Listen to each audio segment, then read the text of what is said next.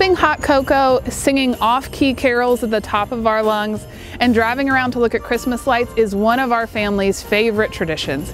Cabell County always provides lots of fun and activities, plenty of lights to see, and it's free to enjoy. I'm Dr. Ashley Stephens, and today we're going to highlight the best ways to bring this family tradition into your home with your family. So hop in, let's go find some fun together.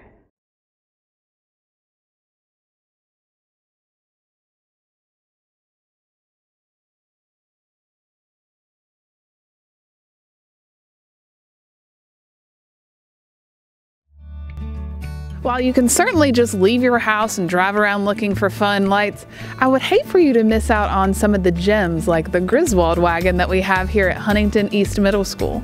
So to make sure you see all the fun stuff, we've created a list for you, and it includes a start with Huntington's Holiday Road.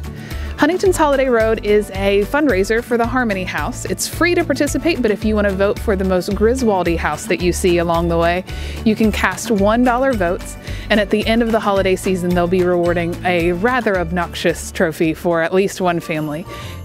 Ritter Park is the newest park to get in on the holiday fun.